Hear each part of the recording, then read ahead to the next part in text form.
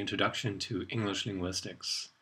In this video I'd like to talk about historical linguistics and we'll go back in time to examine the prehistory of English. Now before we do that, let me briefly tell you a few things about language change in general. In many discussions, language change is viewed as a process of decay, so that the English language used to be great and these days it's, well, not so great anymore. So people complain that, for instance, this is not how the word hopefully should be used, you're doing it wrong. Uh, we have to restore the purity of English grammar. There are things creeping in that really shouldn't be there. And by the way, the younger generation, the kids don't speak proper English anymore. That's because they're texting all the time. And this is just awful. Now, this is cultural pessimism. It's the linguistic variant of cultural pessimism, the idea that everything was better in the olden days and that back then things used to be pure and now they are increasingly corrupted. Well, it's a very common idea, but none of these claims are scientifically sound. Language change is very much the natural state of a living language, and there's nothing to be worried about there. Right, with that in mind, let's examine how languages change. Language change takes place on all levels of structural organization. We find it in phonology, morphology, syntax, and semantics. And uh, in this video, we'll be mostly concerned with the first of these, sound change. I've given you one example there. The modern English word root um, was pronounced differently during earlier periods of English. For instance, the Middle English pronunciation of the same word would have been rote. Right, we also see change in morphology. Um, for instance, changes in affixation. Compare the modern word brothers to the older word brethren. Yeah, there you see an affix that we still have in words like oxen, for instance, but it's an affix that is no longer productive, that has been replaced by the plural s that you all know. Right. Uh, changes in syntax uh, pertain to word order. And I've given you a rather famous line here. Uh, let me read that out to you. Juan Tataprille with his sure Sote, the Drucht of March hath perse to the Rote. Yeah, uh, you can look up where that's from and what that means. Uh, I've marked up two words here. Shures Sote. What does that mean? Well, it means showers sweet. The sweet showers, the refreshing rainfall. And the remarkable thing here is that the adjective follows its head noun. Yeah, showers sweet. These days we would say sweet showers rather than showers sweet. So there's been a change in word order. Something that used to be possible is no longer possible in modern English. Right, then we also have lots of changes in semantics, changes in word meanings. Think of the word gay or think of the word car. Yeah, the word car was around well before the combustion engine was invented. Right, now on to historical linguistics, the proper subject of this video, and I can't possibly introduce this without mentioning uh, this person here, William Oriental Jones, uh, not to be confused with um, other persons uh, by the name of Jones. So William Jones, um, well, let me read this famous quote uh, out to you. He observed that the Sanskrit language, whatever be its antiquity, is of a wonderful structure, more perfect than the Greek, more copious than the Latin, and more exquisitely refined than either yet bearing to both of them a stronger affinity both in the roots of the verbs and in the forms of grammar than could possibly have been produced by accident. So strong indeed that no philologer could examine them all three without believing them to have sprung from some common source which perhaps no longer exists.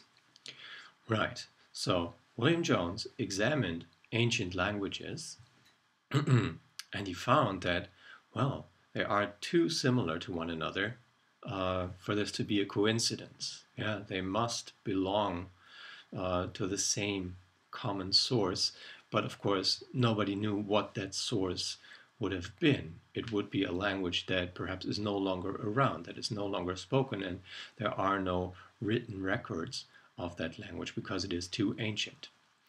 All right, um, the main idea that is uh, in this quote is that languages are related, that languages form families. So, for instance, uh, Sanskrit, Greek, and Latin, they all go back to the same source, which William Jones called Proto Indo European. It is the source language not only for Sanskrit, Greek, and Latin, but also for a whole lot of other uh, languages, including English. All right, so this is the family tree model. Um, and um, you might wonder, how did he come to this conclusion? How did he figure that out? Well, um, he looked at words across these languages, at grammatical patterns, but chiefly at words. And uh, he saw correspondences, he saw similarities. Okay, I brought you a little data set here of um, four words across five languages um, English, German, French, Latin, and the Native American language Kannada. And um, well, you can examine this and you will see that, well, the words look very similar across, for instance, English and German. Uh, but they also look similar to the words in French and Latin, but not at all similar to the words in Kannada. Now, and suppose you have lots and lots of words, not just four, and lots and lots of languages, not just five, you can determine in which languages the similarities are greatest and if perhaps there are groups of languages that show very great group internal similarity so that you can determine the relationships between large sets of languages. And this indeed is what people have done. And um, well, the end result, if you will, of this would be a language tree um, like this one here, which shows the Indo-European language family. All right, so if you examine this tree, you see the Germanic language family up here to which English belongs. But we also have the Romance language family, the Slavonic language family. and um, these branches, if you look at those branches, um, have internal structure themselves. So the Germanic branch consists of, mm, well, these two branches here, Western Germanic and uh, Northern Germanic. In some uh, drawings of the Indo-European language tree, there's also an Eastern Germanic branch, which, however, is no longer uh, spoken. So the languages of the Eastern Germanic branch, they have died out. Okay, so um, now I've told you that you look at these words and um, determine which languages are similar and which ones are less similar. But how does this work in practice? Well, how do we establish how languages are related? Um, okay, the method that is used, there is a method to it, and it's called the comparative method. Okay, let me tell you a few things about the comparative method. And to keep things interesting, I thought I'd bring in a data set of languages that you do not know. Okay, French, Spanish, and Norwegian, you're probably familiar with, at least in terms of where they are spoken and so on and so forth. So here we have data from four Polynesian languages, Tongan, Samoan, Rarotongan, and Hawaiian. And we have 13 different words, forbidden, navel, blow, side, and so on and so forth. And we have those words in all the four languages. Okay, so the word forbidden in Tongan is tapu, and in Samoan and Rarotongan it's actually the same. In Hawaiian, it's kapu. And you can see that, well, that looks as though it is the same word, maybe with a little change in there. There are also uh, correspondence pairs in which, um, well, likely the four languages don't have the same word. Yeah, that goes back to the same source. Look at the third line here. We have puhi in Tongan, Pu'i in Rarotongan, Puhi in Hawaiian, and uh, Foila in Samoan. Well, that's likely not the same word. Maybe the Samoans did something there. They borrowed a word from elsewhere, or they just chose a different um, word to mean blow. Okay, so it's not the same word. Um, I'll come back to this. Now, what does the comparative method do? It's used to compare sound correspondences across different languages. And the goals of the comparative method are, first of all, to establish the relative uh, relations in a set of languages, which are the ones that are closely related, which are the ones that form branches. Um, but there's a second goal, a rather important second goal, namely to reconstruct the words of ancestor languages, of proto-languages. And you can imagine that with uh, Tongan, Samoan, Rarotongan, and Hawaiian, we simply don't have any idea or any written record of the language that could have been at the source of these four languages. Yeah, most of the languages in the world don't have a written record, and so there we are uh, dependent on the comparative method to figure out what the source language might have been like. Okay, uh, one important term that I need to introduce here is the term cognate. Yeah, cognates are words that go back uh, to a, a, common origin. So words that sound similar across different languages and go back to a common origin. That's what I uh, explained to you with regard to the word, yeah, tapu, tapu, tapu, kapu, forbidden. Yeah. Um, so puhi and foila they're not cognates. Yeah, they mean the same thing, but they're really not cognates. And then a second important term is the term reflex. A reflex is the common origin of a sound that is found in modern languages. So, to give an example, the Latin sound P, as in piskis, is the reflex of English F, as in fish. Yeah, piskis and fish that's the same word. Those two are cognates. And uh, so P is the reflex of F. Right. In undocumented proto-languages, um, where you posit that something, you know, is the, the source sound, uh, that reflex is marked with a star. Yeah, and fully reconstructed words are marked with a star. In that way, you signal to the reader that, okay, this is not something that I found carved into a birch bark or a stone or, I don't know, uh, a skull of an enemy, but rather this is something that I think would have been the case.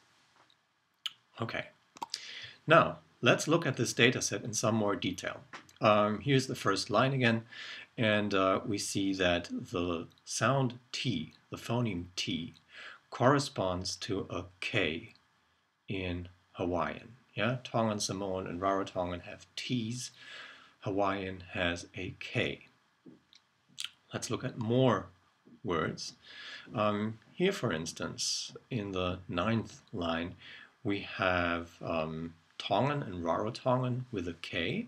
Yeah, and uh, Samoan and Hawaiian have what's called a glottal stop. Yeah, so this question mark without a dot below it, that's a question mark. So uh, the Tongan word would be pronounced kalo, and the Samoan word would be pronounced alo.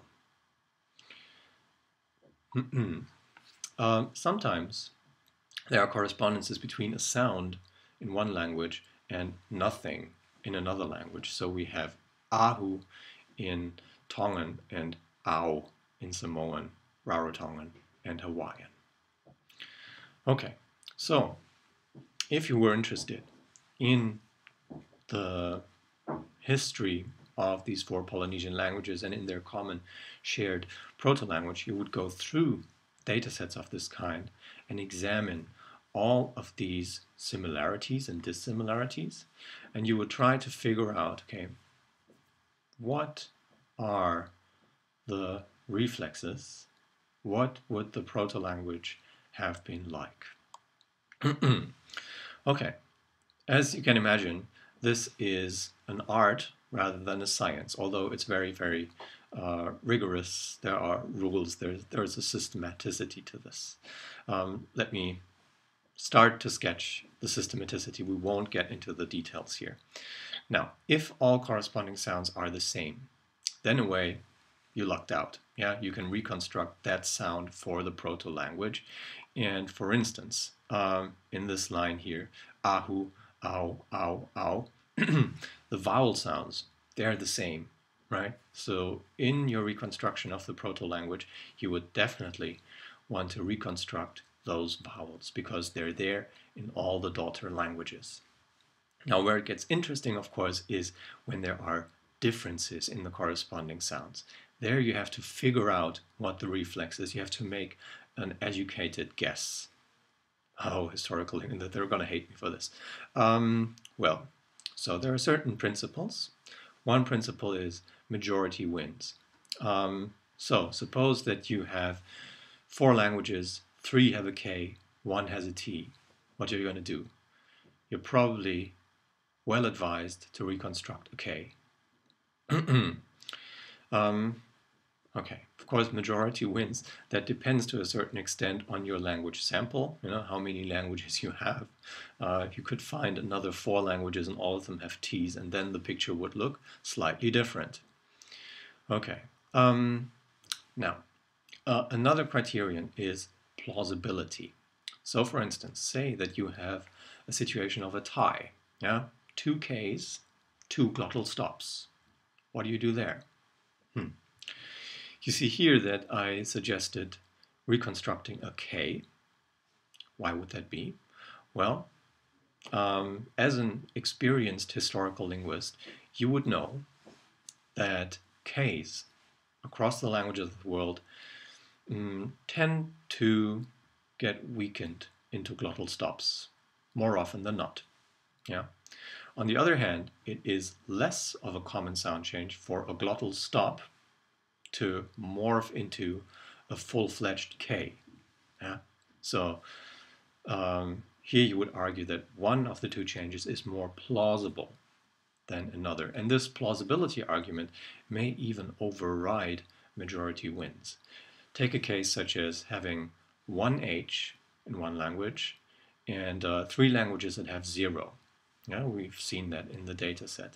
Here, um, majority wins would say, okay, that's been a zero, and the zero has changed into an H in this fourth language. Well, it's not exactly plausible. Uh, H's in the languages of the world, they disappear left and right. Okay, H is just not a very stable sound to stay in a language. But um, for a zero to change into an something changing into nothing, uh, that's typical, but nothing changing into something, that is magic. Yeah, that doesn't happen under natural circumstances. So you use these strategies to reconstruct your reflexes and to get an idea of how a proto-language uh, would have been pronounced. Okay, um, that's sort of the basis, but typically things are more complicated than that. And to account for these complications, I need to introduce two terms, namely conditioned sound changes and unconditioned sound changes. unconditioned sound change, that in a way is the less problematic case that we have just seen. A reflex turns into another sound in the same way in all words that we examine or all words that we have in the data set. Okay, so P always turns to D, for instance, or H always turns to zero. Now, the more complicated case would be a conditioned sound change in which a reflex changes into one sound in some cases and into another sound in other cases. So I brought a little example here. Um, oh, you see this example um, there are words from Latin, words from English, and the same words in German. So the Latin word dens uh, means tooth. It's tooth in English and Zahn in German. So um, here a D has turned into a T in English, but into a Z in German. Okay, that could be an unconditioned sound change. Let's look at another word, edere. Yeah, turn into eat. So again, a D turns into T. Perfect. That's what we had in the previous one. But in German, uh, you know, if we complete the the line there, it should be etzen, yeah, with a ts, but it's essen with just an s. So Latin D turns to ts in some cases, but it turns into s in other cases. Hmm. The terrible German language, what's it doing? Um, okay, there is actually an explanation here, namely the environment of the sound explains into what the reflex changes. D turns into ts word initially, and um, it turns into s word internally. Right, the whole story is a little more complex than that, as always, but as a first approximation, you know, word reflexes changing into different sounds depending on the phonological context, the phonological environment in which you find them. Right, coming back to the comparative method once more, what would you do with it? Well, in a set of languages, you would look at the correspondences, you would note the, the reflexes and the, uh, the things that they change into. And the two languages with the fewest differences in their sound correspondences would have the closest relation. And then you simply work your way out uh, to languages that are more and more different. And uh, you would arrive eventually at something like a tree diagram, yeah, where you have the closely related languages close together and then more um, uh, separate languages uh, at farther ends of the tree diagram, kind of like a dendrogram that you get in cluster analyses. Okay, um, yeah, so you get branches of languages that are closely related and uh, large distances between languages that are not as closely related. And the end result, I already showed you this, would be something like this Indo-European uh, language tree. Right.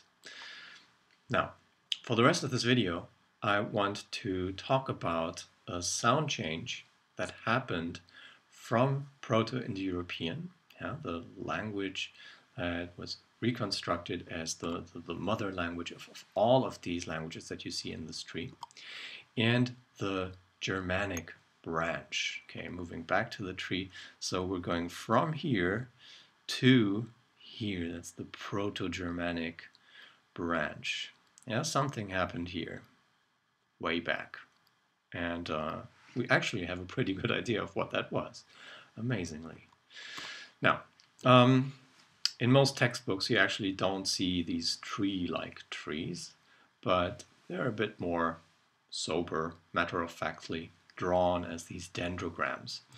And uh, so here you actually have the proto-language at the top, and uh, the proto-language branches off into here. We have Germanic, here we have Celtic, uh, Italic, Hellenic, and a couple more that we don't see in this graph. Okay, so we're interested in this development here um, from Proto-Indo-European to Germanic.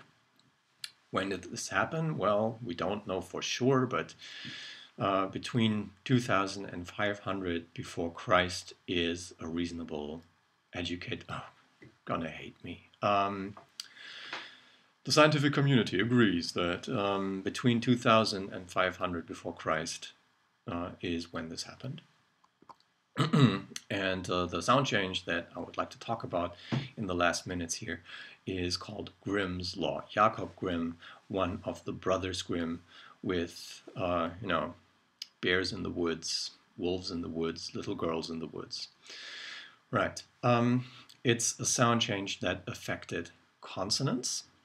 And um, what Grimm's law captures are systematic correspondences between obstruents, stop consonants, in Germanic and in other Indo-European languages. In particular, we're looking at three sets of consonant changes, and these concern Proto-Indo-European voiceless stops, PTK, uh, Proto-Indo-European voiced stops, B, D, G, and Proto-Indo-European aspirated voiced stops. Okay, so these are like B, D, and G, but with aspiration. So B, D, and G. And since I'm doing this so awfully, I brought somebody who does it way better than I do. Listen to this. Dha, adha, Once more. dha, adha. Yeah. Okay. Aspirated voiced stops. We don't have this anymore. It used to be there. It was reconstructed for Proto-Indo-European. It's there in other modern languages, just not in English. Right. So there are three parts to Grimm's law. And the first part would be the Proto-Indo-European voiceless stops, p, t, k, corresponding to Germanic fricatives, f, th, and h. So in German and in English, we have words such as Vater, father, uh, Fuß, foot, yeah. And um, Jakob noticed that, well, these, you know, F words, the F bomb, uh, corresponds to Latin words like uh, pater and pid. yeah. So there we have P's in Latin and uh, F's in German and English. um, okay, moving on. Uh, in German, uh, there's the word drei, and that corresponds to English three, yeah, with a interdental fricative three. And uh, in Latin, we have uh, stop, yeah, tres. in both German and English, we have H's, yeah, Herz, heart, uh, corresponding to a Latin word, uh, cor, yeah. You, you have cardial disease and, and, all that, so it still survives uh, in that form in English. In German and English, we have hun, uh, hundert or hundred, and that corresponds to Latin centum. Okay, so obviously those are differences, yeah, but those differences are systematic so that all the voiceless stops that we find in Latin correspond to fricatives in Germanic. Right. Um, now here, the Proto-Indo-European reflexes, uh, they resemble more closely the Latin than the, uh, the Germanic. So there's been a change affecting the Germanic languages, leaving intact the Romance languages, for instance. Yeah. Uh, so in French we still have père, yeah, for father. The second part of Grimm's law concerns the Proto-Indo-European voiced stops b, d, g, which turned into Germanic voiceless stops p, t, k. So um, in German and English, there's the word uh, lippe, lip, um, corresponding to a Latin word labium with a voiced stop, b. um, in English, there are the words ten and two with t's, corresponding to Latin decem and duo. Um, so I'll, I'll ignore the, the German zehn and zwei. We'll come back to this. Um, in uh, German and English, we have K's in Acker, acre, uh, corresponding to a voiced stop, ager, in Latin. And, uh, the German word Knie has a K, corresponding to Genu in Latin. So again, we have the Germanic languages pattern in one way, and Latin retaining the pattern that um, we assume for Proto-Indo-European. The third uh, part of Grimm's law concerns these aspirated stops, and I can't resist. I'll play this one more once more. Dha, Dha. adha. Okay. Um, so these were there in Proto-Indo-European, And here you see that they actually change into different things in the Germanic language family and the Romance language family to which Latin belongs. So in Germanic, they simply lost their aspiration. Yeah. So they're still voiced, they're still stops, but they're no longer aspirated. in uh, the Romance language family, there was affrication, so they turned into fricatives. Uh, okay, so that's it. And if you're wondering how the hell am I going to remember this, you're going to remember this uh, with the help of this diagram here. So in the exam, I would suggest you, you just jot this down. You remember this, jot this down, and uh, start with the funny um, aspirated voiced stops. Yeah, um, and uh, yeah, put them in the lower right corner. Then draw an arrow. Get rid of the aspiration. So a b turns into a b. Yeah. Then draw another arrow towards the top and uh, do some devoicing. Yeah. Get some devoicing going on. Turn a b into a p, d into a t, g into a k. And then, really, all you've got left is some affrication. Yeah, so turn a p into an f, a t into a th, and a k. Well, here it's a h, and you can imagine that's similar to a h. Okay, there you have it. That is Grimm's Law, and you can sort of see uh, Grimm's Law in many, many pairs of um, yeah, Germanicized words and Latin loanwords that came in later. Um, yeah, cardiac for heart. Um, so, you see that a lot. Now, I can't finish this video with another little complication, namely an exception to Grimm's law. So some words um, seem to behave badly, yeah? so they don't really do the Grimm's law. They are Grimm's outlaws, so to speak. And uh, here I've given you three examples. We have a Latin word oculus, yeah, with a K, and there's a German word Auge. Yeah, those are cognates. They look very similar. Uh, we have Latin septem corresponding to German sieben, seven. Um, and we have Latin frater with a T there, uh, and that corresponds to German Bruder. Okay, so these don't work. Yeah, in Auge, a Latin K corresponds to a G, but really it should correspond to an H. Yeah, it should be Auge, Auge, Auge. It's not.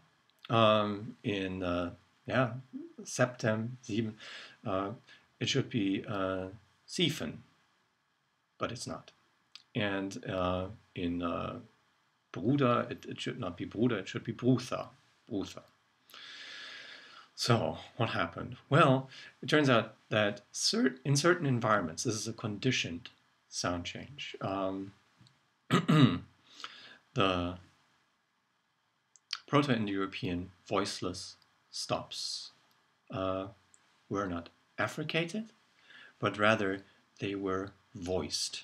And this change goes by the name of Verner's Law. And there is the funniest of videos out there. I'll put you the link here. Um, do yourself a favor, check this out. It's hilarious. Um, and uh, Verner's Law is a voicing sound change. So the Proto-Indo-European p, t, k um, changed into uh, b, d, g. They were voiced. And if we look again at the clever mnemonic here, uh, actually you can remember Verner's law um, because what you do to do Verner's law instead of Grimm's law is take these p to k and just go two steps instead of just one. Yeah. So Verner's law, sort of an exception, uh, an addition to uh, Grimm's law, two steps instead of one. Right. There you have it. Mm. In summary, the main point here really is that all living languages change. That's not a process of decay, that's a natural state of how languages work. Uh, languages change at all levels of their structure phonology, morphology, syntax, semantics. And um, languages form families in which daughter languages evolve out of a proto language. Um, okay, that's called the family tree model of um, languages. I should tell you now that, well, it's not the only model that's out there. There are other models. One is called the wave model. So obviously this is a simplification of how things work. Um, for one thing, it totally ignores the role of language contact, borrowing, all of this. Um, well, there are complications, but you know, this is the first video, so I had to get started somewhere. Bear with me. Um, with the comparative method, you can work out relations between languages on the basis of sound correspondences between their words. It's also possible with grammatical patterns, yeah, word order, but um, again, that's something that we'd have to talk about later. And um, yeah, mm, I'd like you to remember Grimm's Law, really. Um, the Germanic language family differs from other Indo-European languages in that Proto-Germanic has undergone Grimm's Law, which is also called the first consonant shift. And then an exception to Grimm's Law is Verner's Law. Yeah, Verner voicing. You remember that. Okay, thanks for watching. I'll see you next time. Oh, and one time. Uh, one last time. Dha, Adha.